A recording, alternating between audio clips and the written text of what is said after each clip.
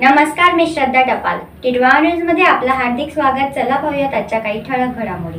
अमृत महोत्सव निमित्ताने हर घर तिरंगा जिल्हा परिषद शाळा टोकावडे यांनी प्रभात फेरी काढली. स्वातंत्र्य अमृत महोत्सव निमित्ताने हर घर तिरंगा यांची प्रभात फेरी जिल्हा परिषद शाळा टोकावडे यांनी काढून जनजागृती केली. तेरा ऑगस्ट व पंधरा ऑगस्ट या दिवशी आपल्या घरावर तिरंगा झेंडा फडकला पाहिजे ही केंद्र सरकारची कल्पना असून या प्रकारे मुरबाड तालुक्यातील सर्व शाळांनी जनजागृती करून सोमवारी सकाळी शाळेतील मुलांची प्रभात फेरी काढली. या कार्यक्रमात शाळेतील शिक्षक गणेश राऊत सारिका घोलप माधुरी निमसे द्वारका निचते व पालकवर्ग विद्यार्थी मोठ्या संख्येने सहभागी झाले होते. प्रतिनिधी राजेश भंगे मुरबाड.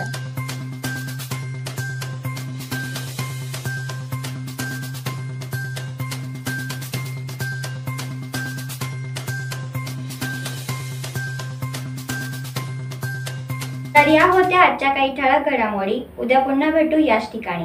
धन्यवाद.